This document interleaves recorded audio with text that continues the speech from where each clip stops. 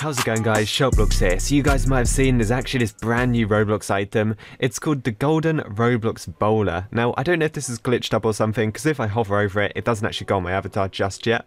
But this was released I think about 45 minutes ago. So it's a brand new item. And let's take a look at it here. So it's called the Golden Roblox Bowler. You guys are probably wondering, how do you actually get this item? So this is what it looks like. To be honest, I'm not really a fan of it. It's got the Roblox logo on it. It's got a feather on it. It's a bowler. I would never really wear a bowler on my avatar. But let's just have a look at the description because this thing is actually super rare. It says, lucky you, this shiny bowler is an exclusive gift from a Roblox employee. It's classy and styling. The only way Roblox knows how to make a bowler. So basically what what that means is to get this Roblox bowler, you have to have an admin give it to you. So an admin has to award it to you on your account. So it's very rare, very hard to get.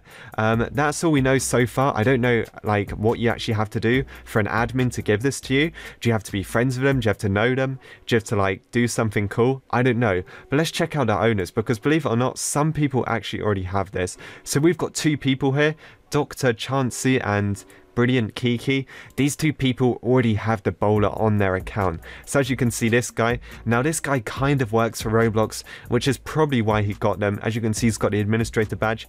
Um, he says he's a program manager of all things gift cards. So he sorts out the Roblox gift cards. That's probably why they gave it to him, I think.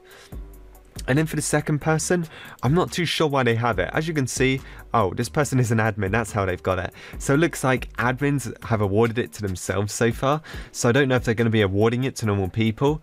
But um, to be honest, I didn't think this account was an admin before. I didn't notice the badge. I thought it was just a random account because as you can see, it looks kind of like, it looks kind of abandoned actually.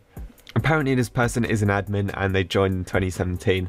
So there you go, they are the two people that have it. So if you want to check out their accounts, maybe send them a friend request. I don't think they'll accept. Or if you see them in game, you can always ask them how they got it. And yeah, that is the new Roblox Bowler. You have to be given this by an admin. That is the only way to get it.